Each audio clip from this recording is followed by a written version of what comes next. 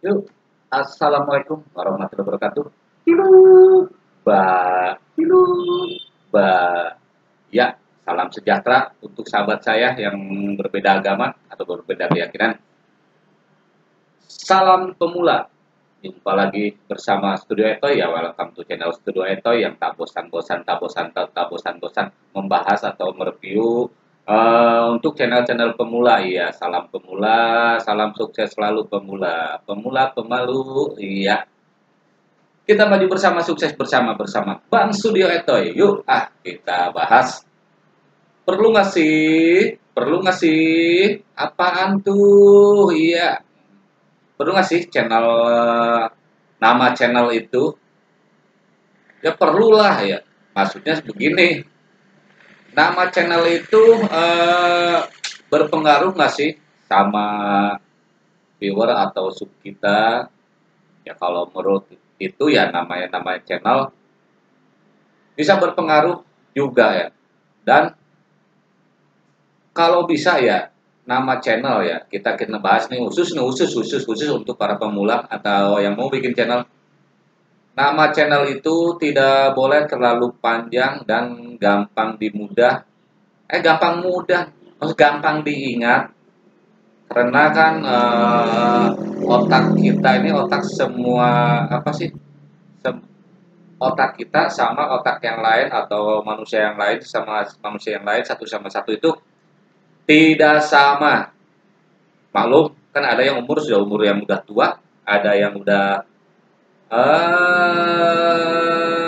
eh, ABG atau sedang ataupun rawan tua ya ataupun anak-anak. Jadi dan banyak juga yang uh, subscriber subscriber kita itu kan umurnya berbeda-beda. Ada yang lebih tua grandmother father opa uh, atau sister atau uncle atau son ya.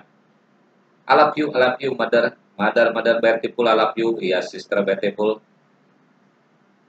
jadi seperti itu ya. Jadi menurut saya sangat penting sekali untuk nama channel itu ya. Nama channel itu kalau menurut saya ya, jangan terlalu panjang. Mendingan sedikit.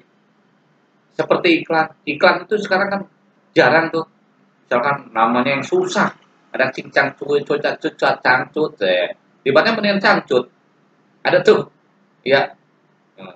Cangcut, kolor. Ibaratnya seperti itu kan lebih gampang ya kayak channel saya kalau menurut saya. Studio etoy itu cuma dua kata. Kalau bisa seperti itu jangan terlalu panjang. Karena menyusahkan untuk uh, orang atau channel yang lain mau mensubscribe kita. Atau mencari channel uh, kita di apa Google Chrome kadang susah juga ya. Orang-orang orang kasihan mau mensubscribe channel kita sehingga uh, gagal mensubscribe channel kita akhirnya mubajir kan? Sayang tuh.